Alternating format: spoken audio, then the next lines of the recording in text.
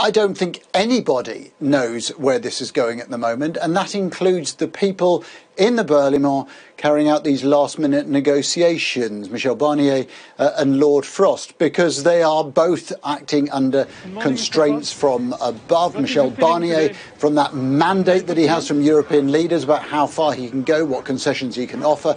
Lord Frost, because of course he is working on behalf uh, of Boris Johnson, and there are so many moving parts. Remember, tomorrow the Internal Markets Bill uh, starts its progress again through the House of Commons. That is loathed here in Brussels by many uh, European politicians who think it's an affront against the withdrawal agreement and that that threat to break international law, they say, has torpedoed much of the respect that they had for the uh, UK government. On the flip side, uh, the European Council will be meeting later this week. That really does add, I think, a bit of impetus. They, after all, have to approve any deal, and watching over it like a hawk will be Emmanuel Macron, who whose Europe Minister, Clement Beaune, has already said that, yes, the government there would veto a deal uh, that they didn't like. And remember, this still, at the end of it, has to be signed off by the European Parliament, and they, in turn, have said that if those controversial clauses in the internal market bill are still in place, then zip, they will call the whole thing off.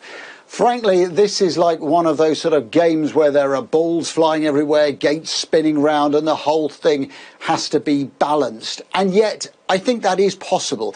There is a deal that has been uh, has been agreed in outline around fishing. That that would still have to be enacted. That the fine uh, decisions around quotas would have to be made. But they think there is a landing zone. The really difficult bit is around competition rules, around this so-called level playing field, and about how far European rules can be allowed to transgress into UK public life. That is the bit that really has created a fissure between the two sides. And I think that if we do end up with no deal, that would be the cause.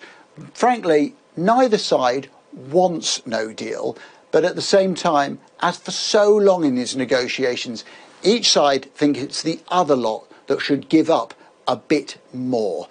But we really are heading towards the end game.